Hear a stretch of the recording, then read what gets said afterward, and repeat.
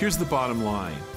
You look at the anatomy of a bird, its behavior, its metabolism, the structure of its feathers, the structure of its muscles, and so forth. These are multiple independent points in a complex space, out of which flight emerges. And I think from a biological standpoint, to fly at all requires a cause that's able to visualize a distant functional endpoint and bring together everything necessary to achieve that endpoint.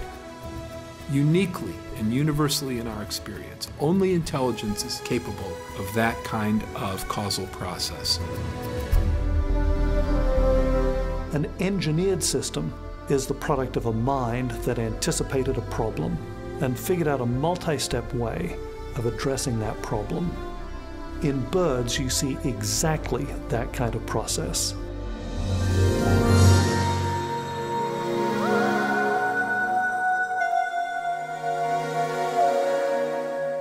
They're engineering marvels, they're works of art. We know where engineered things come from, we know where works of art come from. So, why would we attribute a bird to anything other than intelligence or mind?